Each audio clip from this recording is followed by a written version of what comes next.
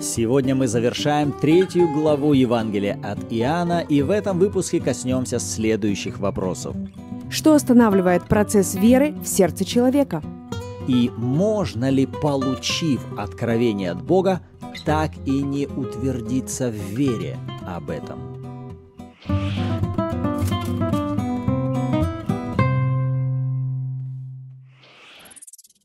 Всем привет, добро пожаловать! Вы на канале Арим и с вами Андреев, Руслан и Ирина. Это подкаст «Библия. Читаем вместе». И сегодня мы читаем с 22 по 36 стихи. И прежде чем начать, как обычно, давайте помолимся. Отец, во имя Иисуса, мы благодарим Тебя за Твое Слово, и мы благодарим Тебя за служение Святого Духа. Мы просим Тебя, Святой Дух, учи, наставляя нас на всякую истину, и когда мы будем размышлять над этими местами Писания, Ты говори с нами, с каждым лично о том, о чем с нами нужно поговорить. Во имя Иисуса. Аминь. Аминь. Итак, с 22 стиха. После сего пришел Иисус с учениками своими в землю иудейскую, и там жил с ними и крестил. А Иоанн также крестил в Еноне, близ Салима, потому что там было много воды, и приходили туда и крестились. Ибо Иоанн еще не был заключен в темницу. Тогда у Иоанновых учеников произошел спор с иудеями о очищении. И пришли к Иоанну и сказали ему, «Рави, тот, который был с тобою при Иордане и о котором ты свидетельствовал, вот он крестит, и все идут к нему». Иоанн сказал в ответ, «Не может человек ничего принимать на себя, если не будет дано ему с неба. Вы сами мне свидетели в том, что я сказал, я не Христос, но я послан перед ним». Имеющий невесту есть жених, а друг жениха, стоящий и внимающий ему, радостью радуется, слыша голос жениха. «Сия-то радость моя исполнилась, ему должно расти, а мне умоляться». Приходящий свыше и есть выше всех, а сущий от земли земной и есть, и говорит, как сущий от земли. Приходящий с небес есть выше всех. И что он видел и слышал, о том и свидетельствует, и никто не принимает свидетельство его. Принявший его свидетельство этим запечатлен, что Бог истинен. Ибо тот, которого послал Бог, говорит слова Божьи. Ибо не мерою дает Бог Духа. Отец любит Сына и все дал в руку Его. Верующий в Сына имеет жизнь вечную, а не верующий в Сына не увидит жизни, но гнев Божий пребывает на нем. Аминь. Еще раз поздравляем с окончанием следующей третьей главы. И как мы с вами прочли, эта история начинается с некоего конфликта. В 22 стихе мы с вами читаем, что после встречи с Никодимом и совершения Иисусом многих чудес в Иерусалиме, Иисус приходит вместе с учениками своими куда? В землю иудейскую и написано, там жил с ними и крестил. И на первый взгляд перед нами какая-то странная картина происходит, потому что нам непривычно рассматривать Иисуса, который крестит в воде. И здесь нам важно обратиться к следующему уточнению, которое прозвучит в следующей, четвертой главе. Раньше, когда писалось Евангелие, разделения на глав не было. Это уже внесли после для удобства. Поэтому апостол Иоанн в 4 главе во втором стихе даст уточнение. Сам Иисус не крестил никого, а ученики его. То есть Иисус приходит в землю иудейскую, но тем не менее модель его служения, она также имеет внутри себя такую составную, как водное крещение или крещение в покаяние, которое совершают его ученики сам Иисус никого не крестил в воде, но ученики его крестят. Ну и логично догадаться, что ученики бы сами от себя ничего не делали. То есть Иисус как бы давал им на это разрешение и давал им на это какое-то указание, что это нужно делать. И можно сказать, Иисус вносит в часть своего служения вот эту модель водного крещения, которую начал еще Иоанн Креститель. И в 23-24 стихах мы видим, Иоанн также крестил в Еноне близ Иерусалима, потому что там было много воды, и приходили туда и крестились. То есть перед нами сейчас как будто два параллельных служения, которые совершают одну и ту же церемонию. И Иоанн Креститель крестит в воде крещением покаяния, и в служении Иисуса также содержится крещение в покаяние через погружение в воду. И, скорее всего, это побудило иудеев пойти на спор в 25 стихе с учениками Иоанновыми. И мы здесь видим, что ученики Иоанновы вступили в спор с иудеями об очищении. Но странная картина происходит. Вроде бы у них происходит спор с иудеями об обряде очищения, а в 26 стихе этот спор их приводит к вопросу по поводу Иисуса. Тогда они приходят к Иоанну и начинают как бы возмущаться. «Рави, тот, который был с тобою при Иордании, о котором ты свидетельствовал, вот он крестит» и все идут к нему. И как бы они выражают некое свое возмущение в вопросительной форме в адрес Иисуса. Спор произошел с иудеями, но, скорее всего, этот спор вокруг обряда очищения бросил некую проекцию на то, что «а вот почему это там Иисус со своими учениками тоже совершает обряд очищения». Я подумал, ну как оно могло связаться? Вроде бы спор вокруг обряда очищения, а они в результате пришли к тому, что возмущаются, а почему это вот Иисус там совершает с учениками крещение, и все идут креститься к Нему. И тут я знаю, что вспомнил. Я вспомнил, что Иоанн был не простым человеком, а был сыном священника – и если говорить о каких-то религиозных церемониальных обрядах, то вполне вероятно, я предполагаю, что когда иудеи поднимают спор об обряде очищения, то, скорее всего, могло быть, что сам Иоанн не смущал их, как тот, который сейчас проводит обряд очищения. Почему? Потому что он сын священника – просто стать в позицию священника, потому что ты прошел курсы священника, такого в Израиле невозможно было. Священником мог быть только тот, который был из рода священников. Иоанн был из рода священников. Отец Захария был священником в Израиле. И я предполагаю, что иудеи могли относиться к Иоанну отчасти и как к пророку, и как к тому, кто может совершать обряд очищения, будучи сыном священника. Но вдруг, когда появляется Иисус, и в его служении ученики совершают обряд очищения, это могло смутить и самих иудеев, вот здесь, которые приходят на спор, и, скорее всего, учеников Иоаннов. А как это тот, который был с тобой при Иордане, он крестит? Но в их словах меня не столько привлекло их возмущение о том, что Иисус крестит, и все идут к Нему, сколько стартовая фраза, указывающая на их восприятие самого Иисуса. Они начинают с фразы «тот, который был с тобою». И вот это указание, оно о многом может говорить. Почему они не называют его «тот, о ком ты сказал, Агнец Божий»? Тот, о ком ты слышал, что это и есть Мессия. Почему они не осмеливаются его назвать так, как Иоанн прежде его уже назвал? Для них он все еще остается – некто.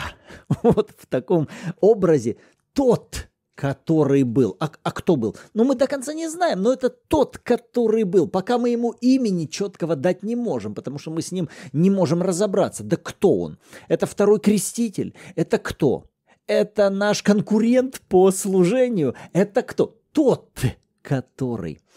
И вот здесь можно было бы сказать, ну, ну что, что с них взять? Ну, это ученики, Но все-таки я думаю, что тот образ мышления и те взгляды, которые есть в учениках, отчасти могут быть проекцией и того состояния, которое есть и в их учителе.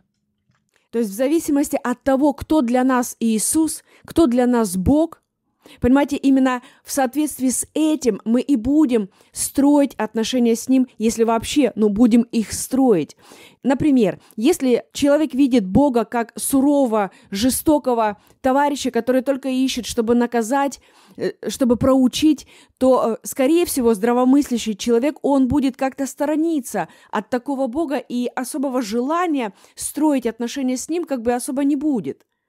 Понимаете, но когда человек знает, что Бог – это папа, который любит, папа, который заботится, милует, желает баловать подарками, благословениями и так далее, то этот человек, он, скорее всего, захочет как минимум что-то больше узнать о нем, как-то лучше познакомиться и строить с ним отношения. Почему? Потому что внутри у этого человека, скажем так, вот этот внутренний образ веры, об этой личности, он другой, он лучше. И поэтому чем лучше у нас образ внутри, тем лучше наше отношение к этой личности. А кто это определяет, каково мое внутреннее отношение к той или иной личности? Конечно же, друзья, это определяем только мы с вами. Бог не будет навязывать нам это, а дьявол не вправе заставлять нас думать так или иначе о том или ином человеке, потому что у него нет достаточно власти. Он может это делать только тогда, когда я ему это позволяю. Но если я говорю э, дьяволу нет, а Богу да, значит я позволю Богу формировать правильный образ в моем сердце о том или ином человеке, и отсюда будут вытекать и мои взаимоотношения с ним. И говоря об учениках и о их таком отношении к Иисусу на данный момент, это напрямую должно было быть связано и с их верой об Иисусе, как они верили о нем. И то, как они говорят сейчас о нем, это тот, это некто, о котором ты вот так говорил. Они еще так верят о нем. Но возвращаясь и к ним, и к тому же Иоанну, мы сможем увидеть нечто общее. Почему? Потому что ученики слышали то, что Иоанн говорил о Иисусе тогда, когда Христос крестился от него. Слышали ли они пророческое слово, указывающее на Иисуса как на того, кто пришел, как Агнец Божий, как тот Мессия, которого ожидал весь Израиль? Слышали ли они эти слова о Иисусе? Ответ – да. Имел ли сам Иоанн эти откровения об Иисусе? Ответ также да. И даже когда мы с вами сейчас будем читать слова Иоанна с 27 по 36 стихи, Иоанн 10 стихов сейчас возвещает о Христе. И когда я читал эти слова, я думаю, ну вот, он возвещает об Иисусе, как о женихе, как о том, кто пришел свыше, который свидетельствует о том, что слышал, а его свидетельства не принимают. Это тот, которого Бог послал, и он говорит слова Божьи. Отец любит сына и все отдал в руку его. Но, тем не менее, я все равно хотел бы напомнить, что спустя немного времени Иоанн будет схвачен и брошен в темницу. И когда спустя время те же ученики Иоанна, будучи посланными своим учителем, придут к Иисусу с вопросом, давайте прочтем это в Матфея 11 главе, Иоанн, услышав в темнице о делах Христовых, послал двух учеников сказать ему, «Ты ли тот, который должен прийти, или ожидать нам другого?» И вот здесь, в этой точке, мы видим все-таки Иоанна, который находится в состоянии сомнений. Он в сомнениях. О чем? О том, Иисус, Он и есть ли Христос? Ты ли Христос? Ты ли тот, который должен прийти? Или это не ты? И что здесь перед нами?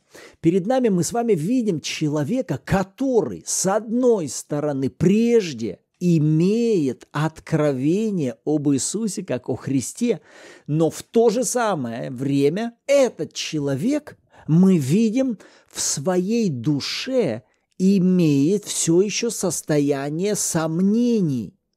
И здесь для нас сейчас не столько важно рассматривать какие-то негативные стороны Иоанна Крестителя. Нет.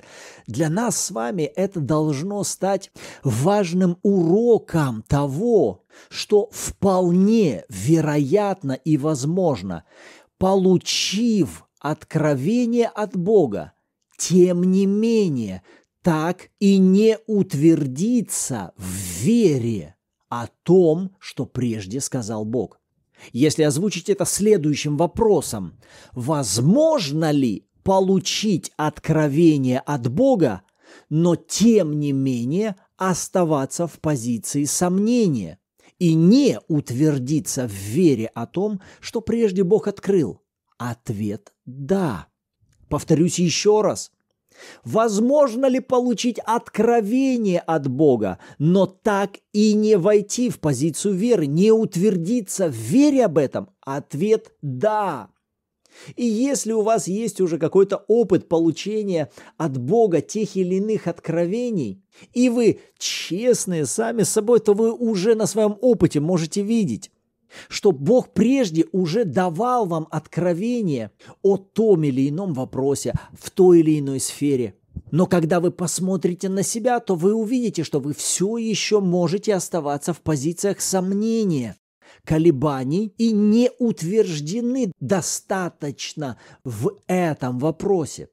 Если вы ведете заметки и пишете где-то свои откровения, откройте свои конспекты, посмотрите и перечитайте те откровения, которые Бог давал вам месяц назад, полгода назад. Вы увидите странную картину, что Бог давал вам какие-то откровения еще тогда, но тем не менее – когда вы посмотрите внутрь себя, внутрь своего сердца, то увидите странную картину. Но на территории пятерки моей души эти откровения так и не укоренились, не утвердились.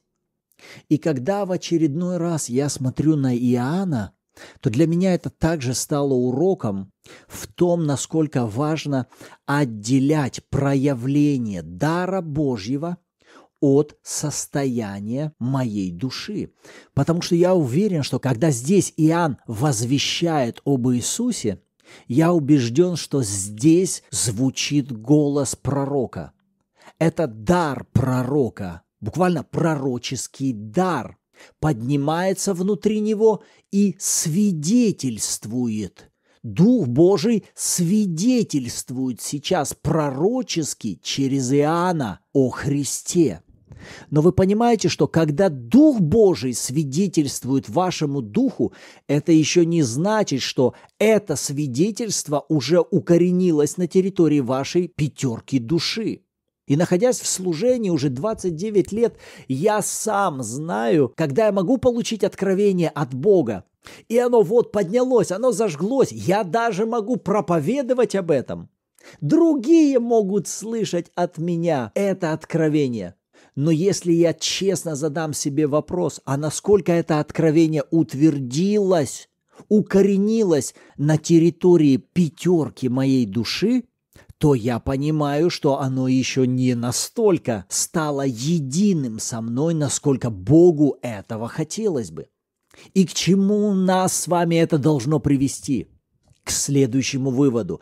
Когда Бог дает нам то или иное слово, то или иное откровение, не позволяйте себе обольститься тем, что все, если я уже получил об этом знание, этого достаточно. Нет, когда Бог дает нам то или иное слово, то или иное откровение, и оно зажигается внутри вас, не оставьте это только на уровне эмоционального всплеска или интеллектуального озарения – крайне важно нам погрузиться в это слово, соединиться с этим словом, продолжать размышлять над этим словом, напоминать себе это слово, говорить это слово, сделать все возможное, чтобы это слово как семя максимально могло пустить свои корни уже на территории нашей пятерки души.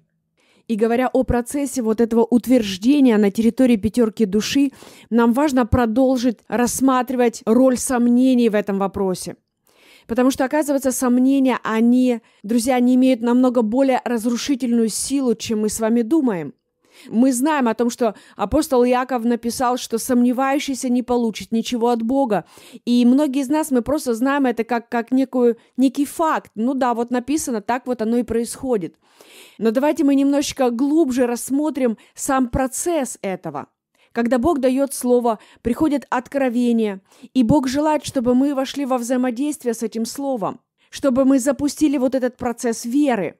И как только мы начинаем выходить на этот путь, друзья, нам важно помнить о том, что враг не спит и не дремлет.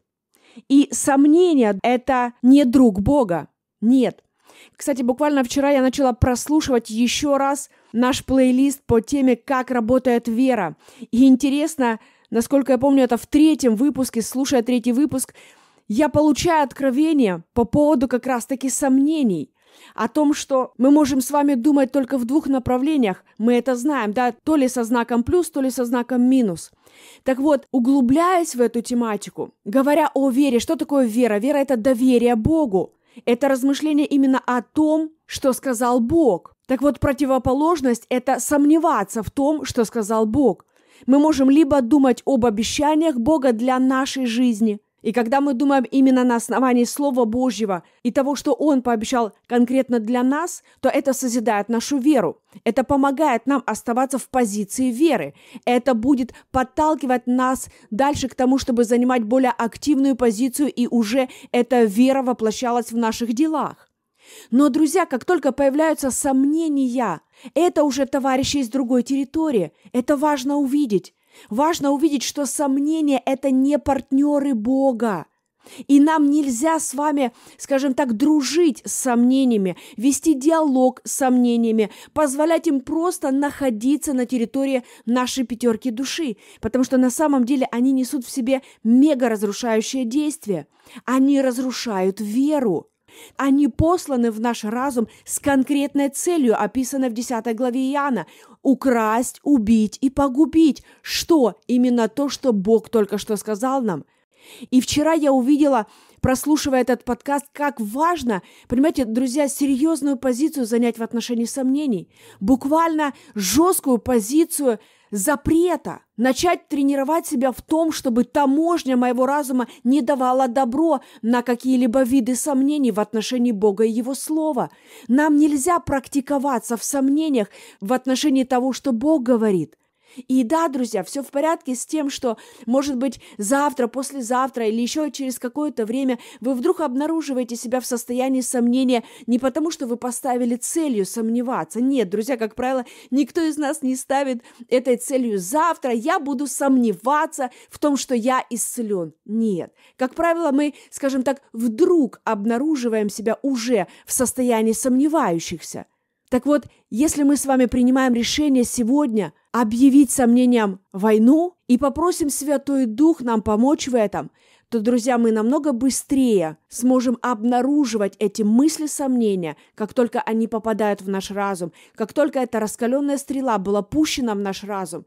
Дух Святой тут же поможет нам обнаружить ее и скажет, послушай, вот это, это не от Бога, давай это останавливать. Мы связываем всякое сомнение, и мы запрещаем ему действовать на территории нашего разума. Во имя Иисуса. И, как правило, вот эти сомнения, они будут являться следствием того, что прежде фокус на процессе был утерян. То есть, смотри, когда мы целенаправленно погружаемся в Слово, вот берем Божье Слово, берем истины какие-то и целенаправленно погружаемся в этот процесс, как сеятель который вот посеял, и он весь фокус свой держит, приходит, поливает, э, вытягивает сорняки. Он постоянно думает об урожае, он целенаправленно на этом сфокусирован. И когда Бог дает вам откровение о том или ином вопросе или из той или иной сферы, то я думаю, что вот это понимание, когда у вас есть это понимание, что наличие откровения еще не делает вас человеком, утвержденным в вере об этом. Уже хотя бы это осознание, оно будет помогать вам не войти в состояние беспечности. О, ну я же знаю об этом, значит я в вере об этом. Это не значит, что вы уже об этом в вере. У вас есть семя – для того, чтобы вы утвердились в этом. И, друзья, вот здесь настолько важная мысль. Знание не равно вера. Это важно, друзья. То, что я знаю о чем-то, это еще не значит, что я в вере об этом.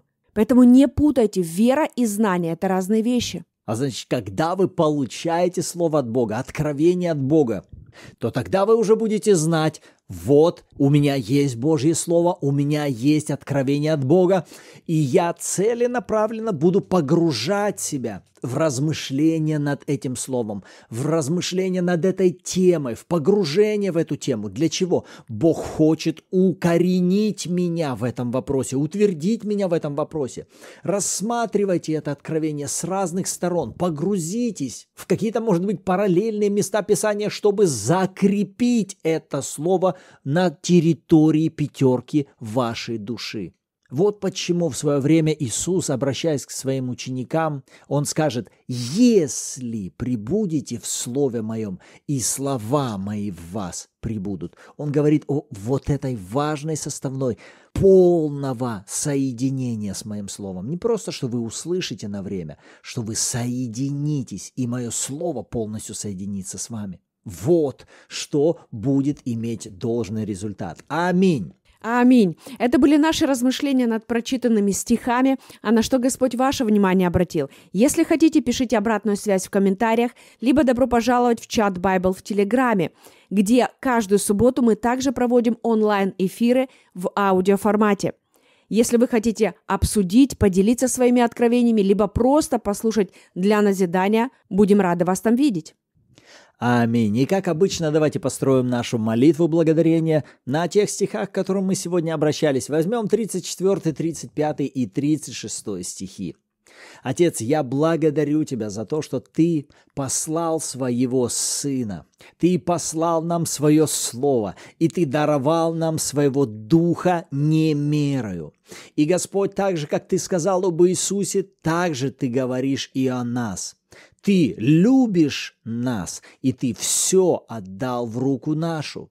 Господь, мы благодарим Тебя за способность веровать в Сына Твоего и иметь жизнь вечную.